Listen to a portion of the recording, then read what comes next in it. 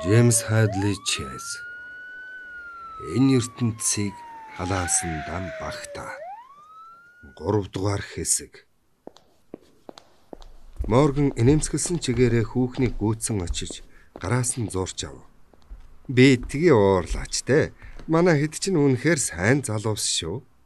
Энэ явдал мах цуснд нь шингэх болоогүй байна л та.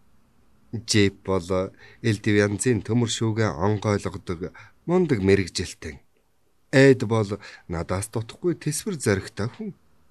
Кэтсэн бол машин жолоодохдоо хосгүй хүн. Тэгэхээр чи тайвширш үз. Бид сайн ойлголцоогүй үеэр таарчихлаа шиг байна. Би эдэндээ үйл баримтыг танилцуулах гэж арай яаруулсан байж болох юм. Хэн нэгэн маань хохирч болзошгүй гэж манай хэд эмээгэд байгаа юм л та.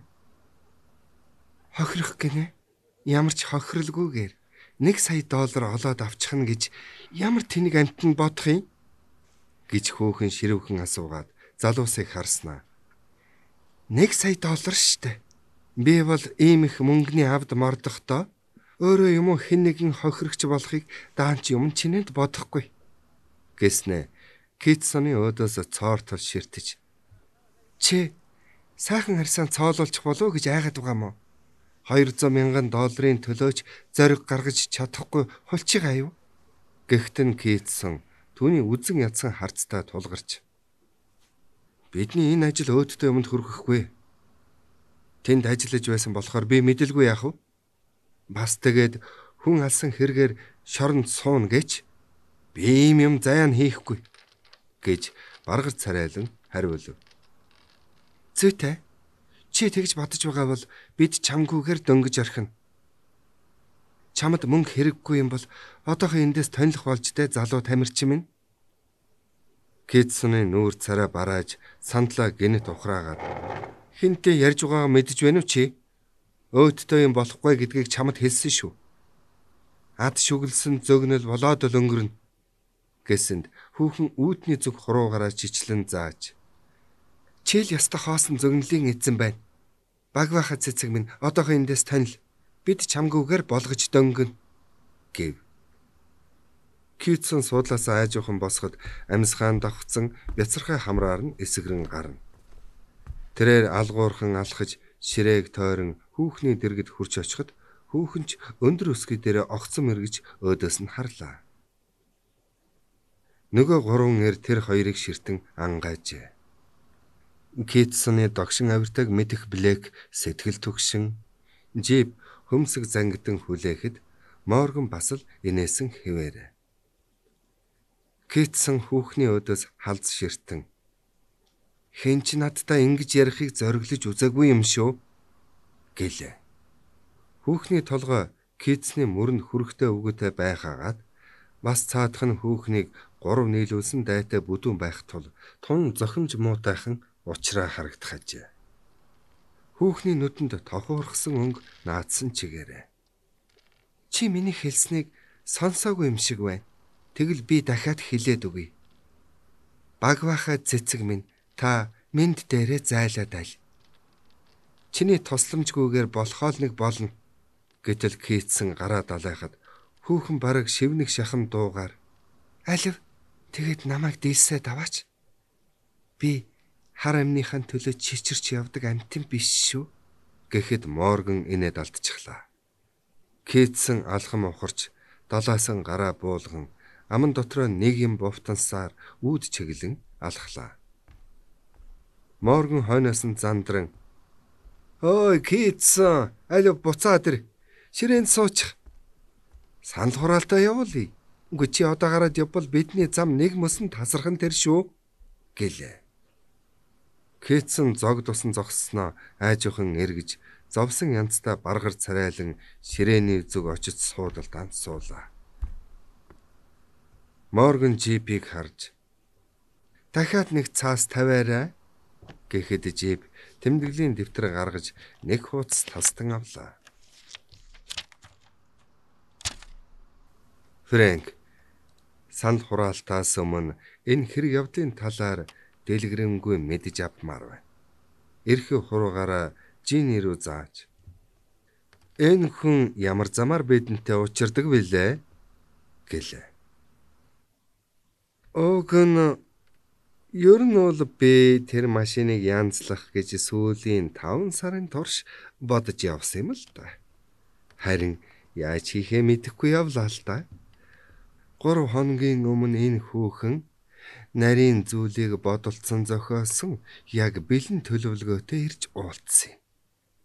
Бүх санаа энэ хүүхнээс гарч байгаа болохоор бид олсон мөнгө 5% ах учиртай. Маш нарийн зохиосон төлөвлөгөө амжилтанд хүргэнэ гэж би хувьдаа бодож байгаа шүү. Блэк хүүхний өдөөс харж "Чи хаанаас гараад ирв бяцхан амьтаа минь.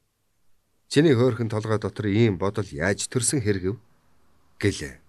Хүүхэн хямд төсөр үнэтэй хуучирч болсон цүнхэн онгойлгож хайрцагтай янжуур цаасан шүдэнц гаргаж тамхиан асаагаад Блэкийг жишимгүй хүйтэн харцаар болгон харснаа.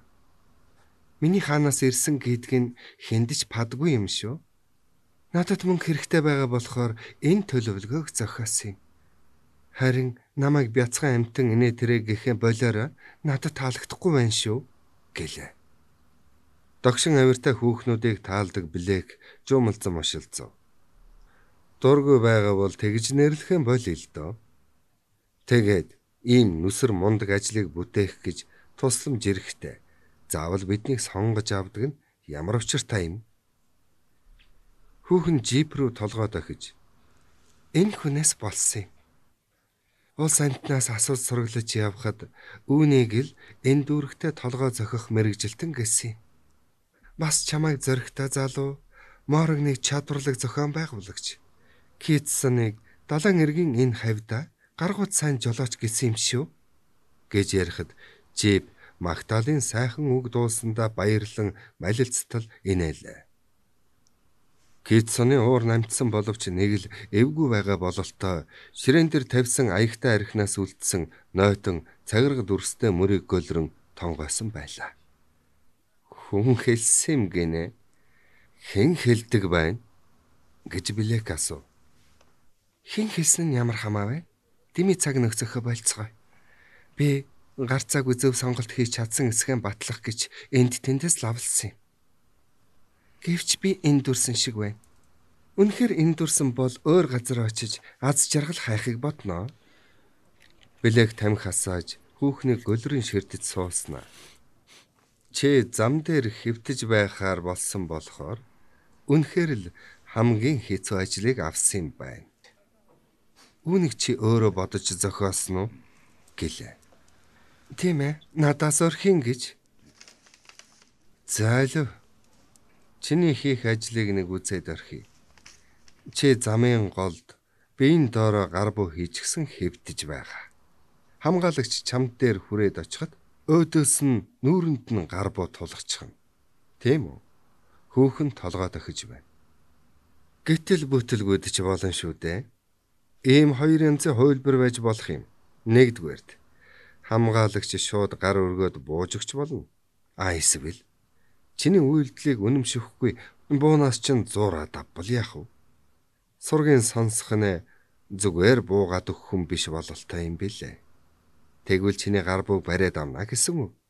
Тэгвэл яах болж вэ? Хүүхэн хамраараа тамхины утаас авсуулан 1 сая долларын төлөө явж байгаа шүү дээ.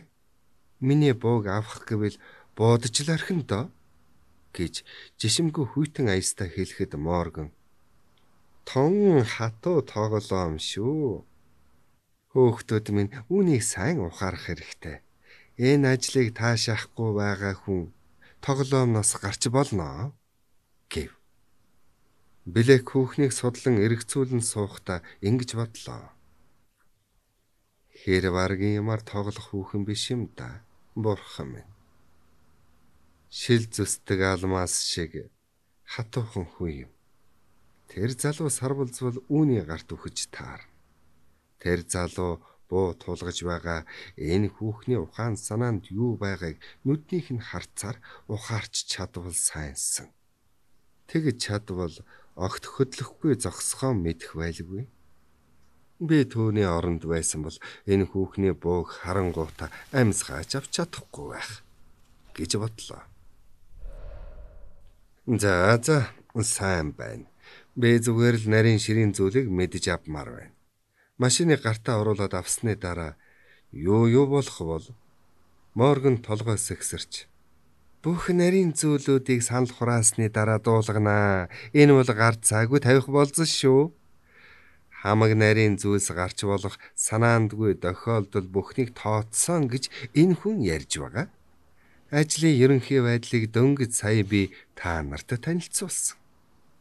Энэ хүүхэнтэй хамтарч ажиллахыг бид зөвшөөрвөл бүх нарийн юмыг мэдж авалгүй дээ. Бид зөвшөөрөхгүй бол энэ хүн өөр залуусыг хайж олох ёстой. Эн чин шудраг биш гэж үү? гэхэд блэк залган авч Жэний бүх юмыг тооцсон биз дээ. Санаандгүй тохиолдолд тоймгүй олон гарч болно. Хэдүүлээ машиныг зогсоогоод жолооч хамгаалагч хоёрыг аргалжихлаа гэж бодъё. Энийг ч дөнгөмөөргүй л оргиод байгаа шүү. Тэгтэл өнөөх машин чинь агентлагтай цаг үргэлж ажиллаж байдаг радио холбоотой гэдгийг бид бэлхнээ мэдэж байгаа. Радио холбоо тасрахын хамт машиныг ирж хайж эхэлнэ хаах нь ирэхээ тэд сайн мэдэж байгаа. За тэгээд цагдаагийн газраас гадна сэргийн ангиуд хүч нэмнэ. Тэгэхээр үе төмөнхөн машин нисэх онгоц бужигнаад л явчихна. Тэд бүгдээрээ хамжаад хэдхэн бээр газрыг самнах зорилготой. Үүнийг онгоцоор хэдхэн минутын дотор л анжуулна. Гэтэл нөгөө хуйгт машин маань хүзүүн дээр гарсан хатиг шиг зам дээр тороогоод л байж байдаг.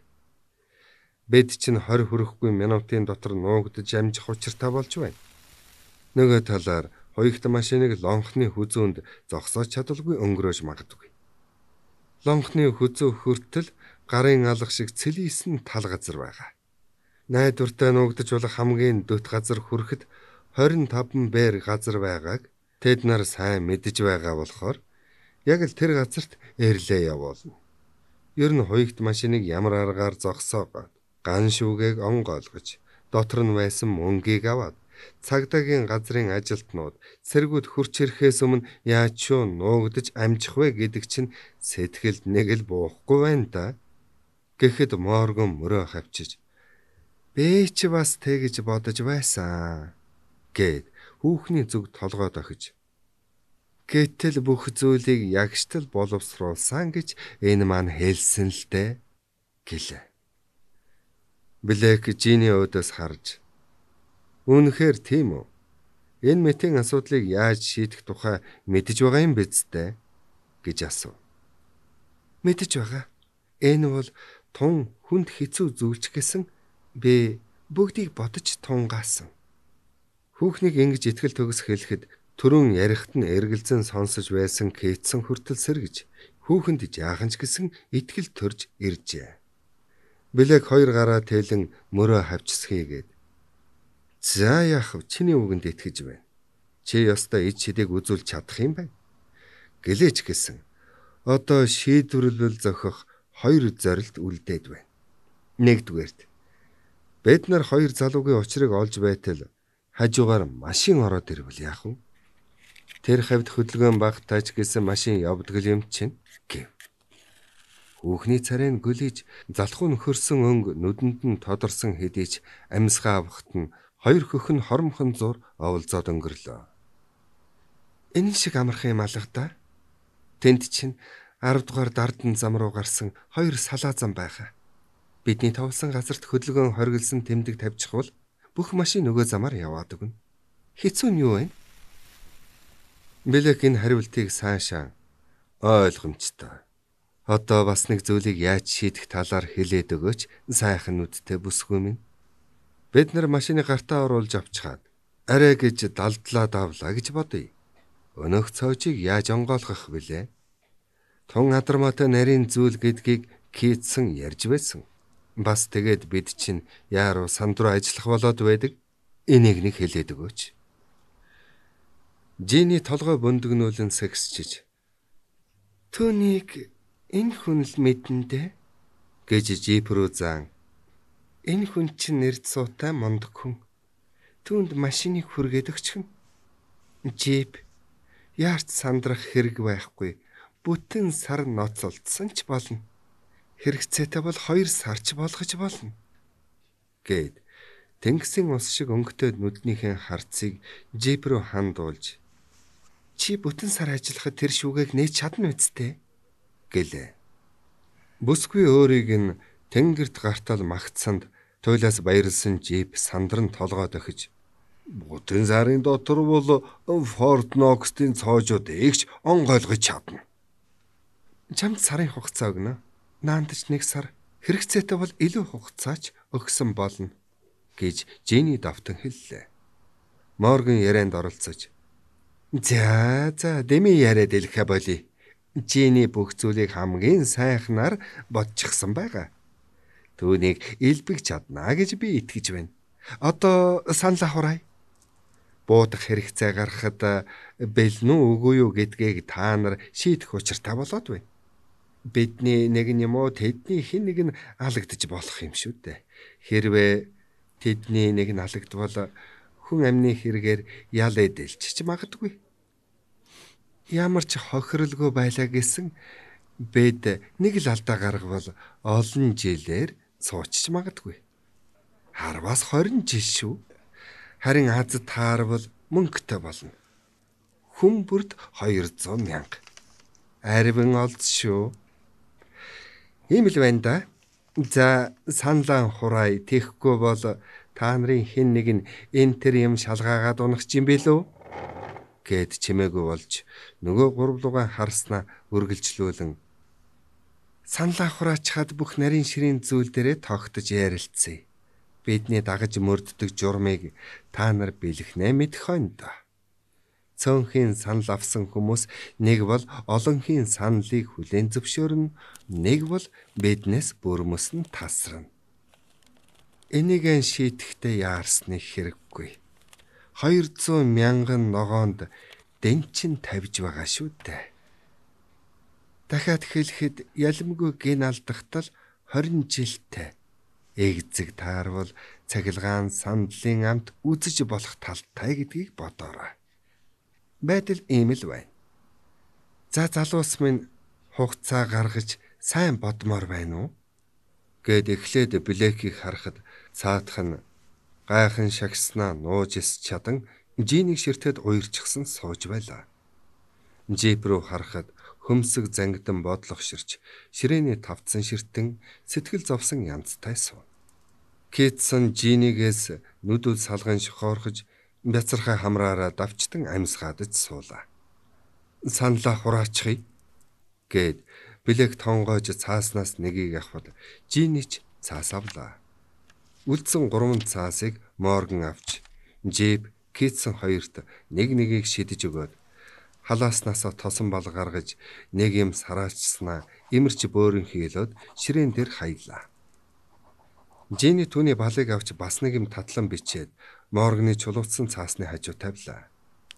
Жип авсан цаасаа харж хэсэг сууснаа харандааны язаароор нэг юм сараачаад босод цаастаа нийлүүлэн тавилаа. Одоо Китсоны ээлж боллоо. Түүнийг авсан цаасаа уйтгарлан харж суухыг Жини гурван нэрийн хамт ажин харна.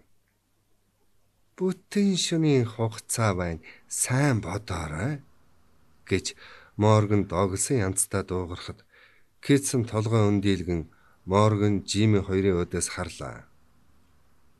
Жини тэр хоёр өд өдөөс харан баахан суулаа.